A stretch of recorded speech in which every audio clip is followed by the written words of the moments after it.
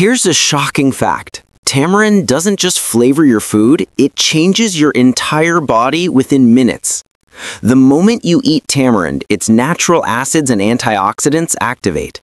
As it reaches your stomach, it boosts digestion, stimulates enzymes, and helps break down heavy meals faster.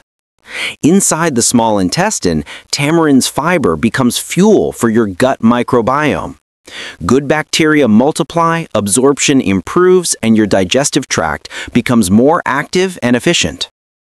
Next, its potassium, magnesium, and antioxidant compounds enter your bloodstream, supporting your heart, reducing inflammation, and refreshing tired muscles.